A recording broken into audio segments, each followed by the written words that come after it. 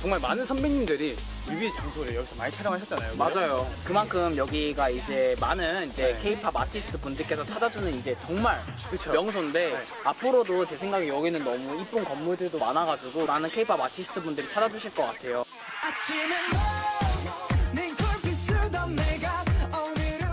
네, 저희가 정말 원래부터 연습생 때부터 참 좋아하던 노래라서 재밌게 안무할 수 있는 것 같아요.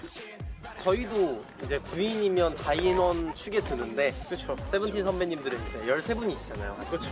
깔끔하고 절도 있는 안무들이 저희 9명한테 굉장히 필요한 것 같아가지고 굉장히 포지션이 잘 나눠져 있고 매력이 네, 있으신 선배님들이시기 때문에 정말 연습생 때도 닮고 싶다는 생각을 많이 했던 것 같아요. 저희 제일살구 앞으로도 더 멋있는 활동, 더 발전할 수 있는 모습 많이 보여드릴 테니까 앞으로도 많은 사랑과 관심 부탁드리겠습니다.